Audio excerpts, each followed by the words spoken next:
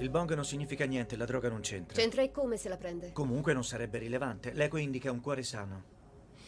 Parliamo dell'eco che Foreman ha scelto di non fare dopo che ho frantumato il suo sogno di grande creatore di farmaci. Ce l'hai con me perché forse Katner l'ha sbagliato? Non ho sbagliato l'eco. Lo so. Niente danni strutturali al cuore. Allora, se non è il cuore... È il cuore.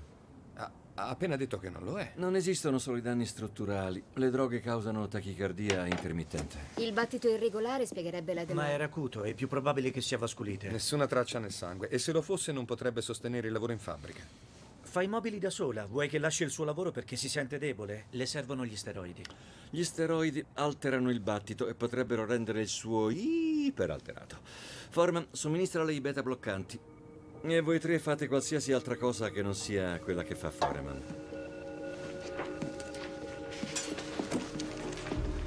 Iniziate la terapia. Chiamatemi se avete bisogno.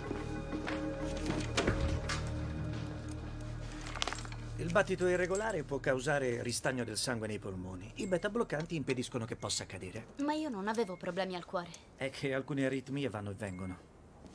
Perciò o non credete a me o al vostro test. Caspita, siete più cinici di me.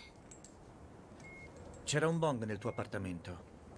Siete entrati nel mio appartamento. L'uso prolungato di droga può aver Il danneggiato... bong è del mio ex ed è per questo che è un ex. Il che non prova che non l'hai usato. No. E non avete motivo di credermi. Perciò fate la terapia.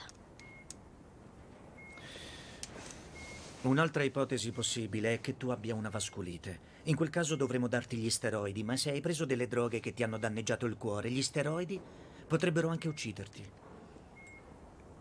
Ripeto, non mi sono drogata.